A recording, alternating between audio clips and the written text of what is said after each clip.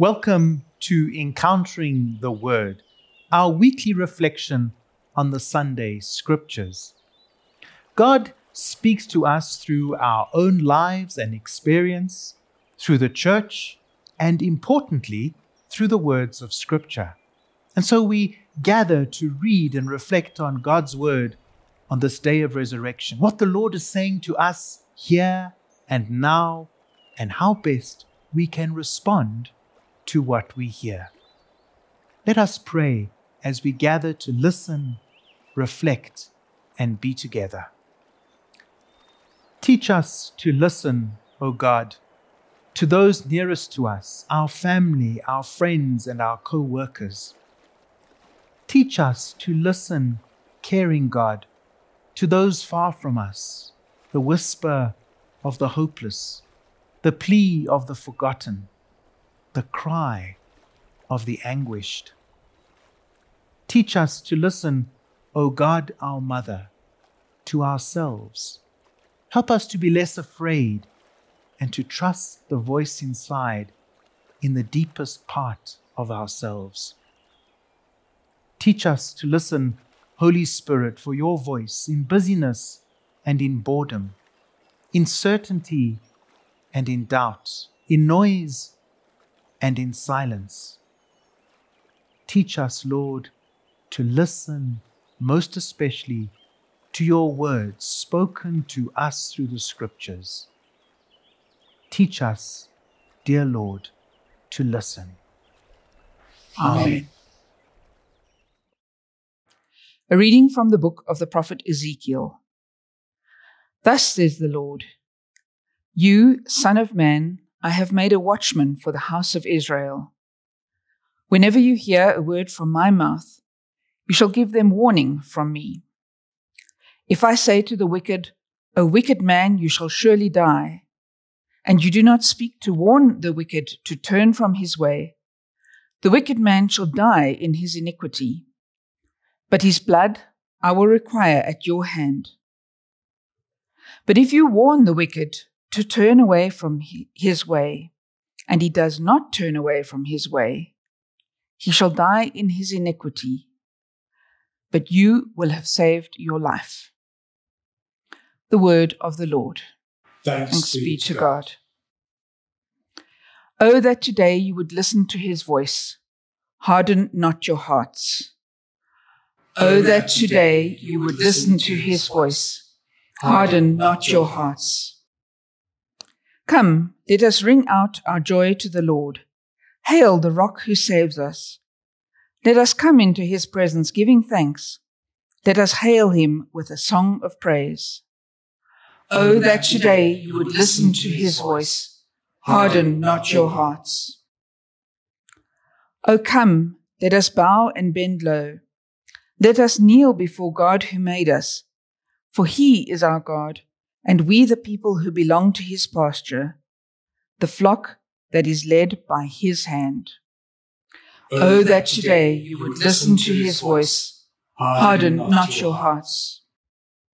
Oh, that today you would listen to his voice, harden not your hearts as at Meribah, as on that day at Massa in the desert, when your forebears put me to the test, when they tried me, though they saw my work. Oh, oh, that today you would listen to his voice, harden not your hearts. A reading from the letter of St. Paul to the Romans. Owe no one anything except to love one another. For he who loves his neighbor has fulfilled the law. The commandments you shall not commit adultery, you shall not kill, you shall not steal you shall not covet, and any other commandment are summed up in a sentence You shall love your neighbor as yourself. Love does no wrong to a neighbor. Therefore, love is the fulfilling of the law. The word of the Lord. Thanks, be to God. Alleluia. Alleluia, Alleluia, Alleluia.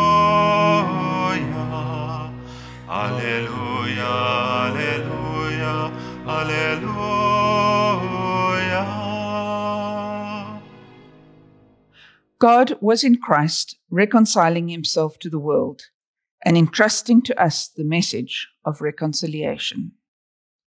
Alleluia, Alleluia, Alleluia. Alleluia, Alleluia, Alleluia.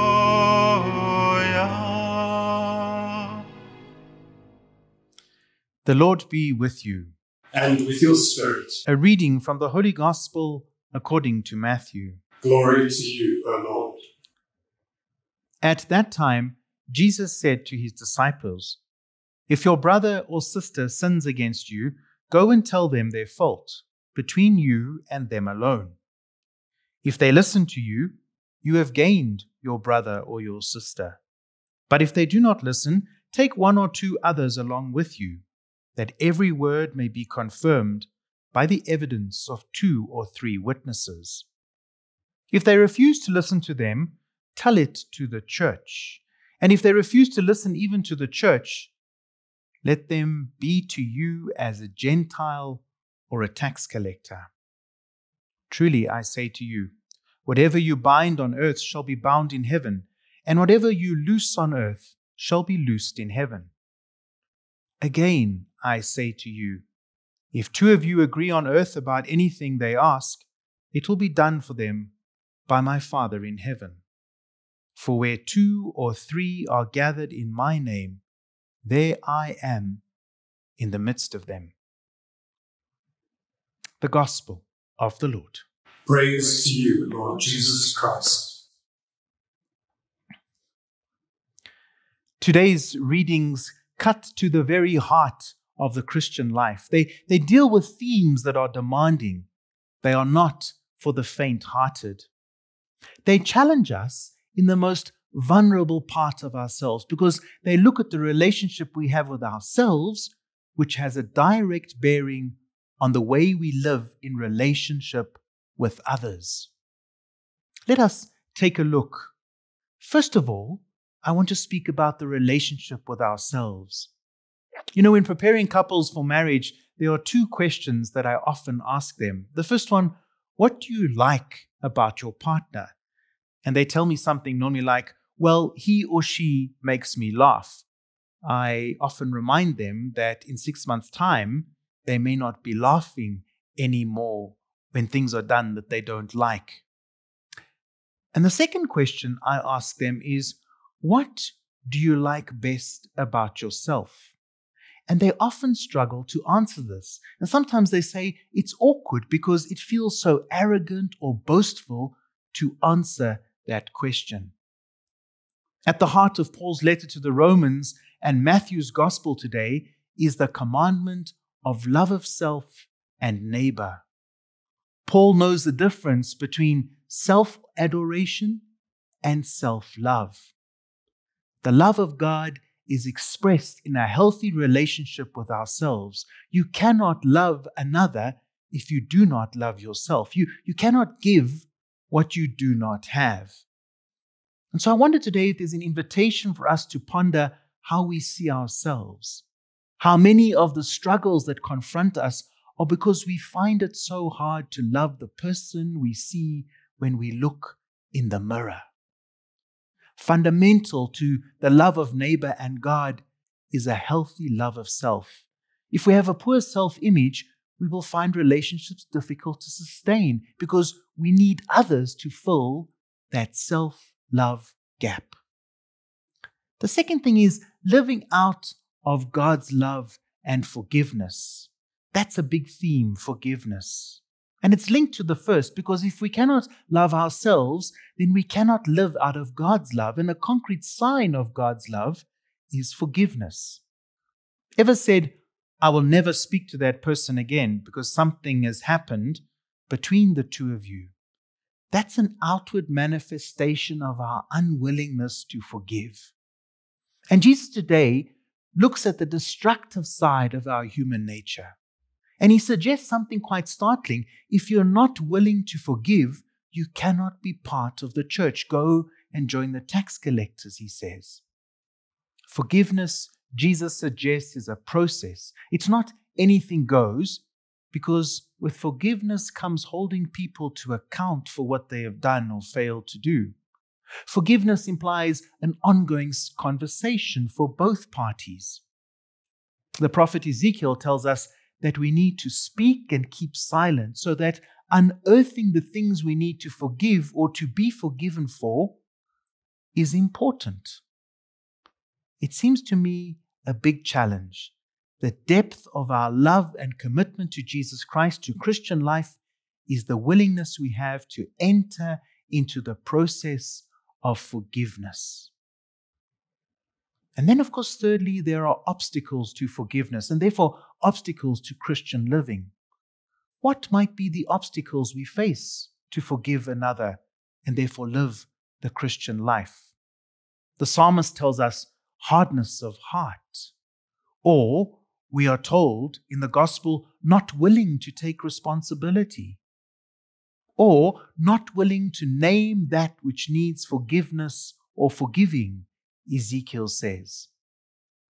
There may be a number of reasons we choose not to forgive. Past hurts that have not been healed, because healing is a constitutive part of forgiveness, or anger, the inability to let go of my hurts which manifest in anger, inability to love self, the hardness of heart which is born out of an arrogance that I know better. Today, we're being invited to seek a healthy relationship with ourselves so that we can truly live God's law of love and forgiveness. I want to invite you to pray today that you won't be afraid to confront the obstacles which prevent you from forgiving and therefore prevent you from living the fullness of Christian life. I want to invite you today not to be afraid to looking into your own vulnerable heart and those places perhaps in your heart where you feel there is a lack of love for self and therefore the inability to give to others. We're being invited to immerse ourselves today into the depths of Christian life.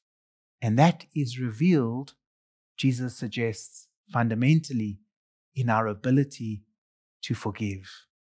Let's pray for that grace today.